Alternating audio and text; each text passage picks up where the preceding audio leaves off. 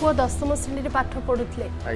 ଶିକ୍ଷକମାନେ କୁହନ୍ତି ସାଙ୍ଗସାଥୀ କୁହନ୍ତି ରାଜା ପଢ଼ୁଆ ଥିଲା ରାଜା ବଢ଼ିଆ ଥିଲା ମାମାକୁ ସବୁବେଳେ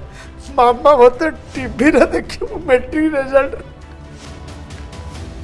କାହା ଜୀବନର ମୂଲ୍ୟ କେବେ ଚାରି ଲକ୍ଷ ଟଙ୍କା ହେଇପାରେନି ଯେ ଛୁଆର ବାପ ହେଇନଥିବ ସିଏ କ'ଣ ବାପର ମହତ୍ଵ ଜାଣିବ ସେ ଦୁଇ ଚାରି ଲକ୍ଷରେ ତ ସରିଗଲା ଆଉ କ'ଣ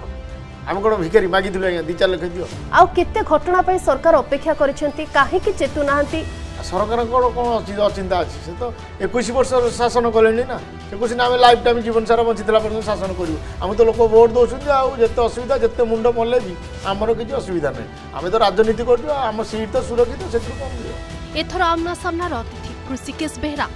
ଦେଖନ୍ତୁ ଆମ୍ନା ସାମ୍ନା ଶନିବାର ସନ୍ଧ୍ୟା ସାତଟା ତିରିଶ ମିନିଟ୍ରେ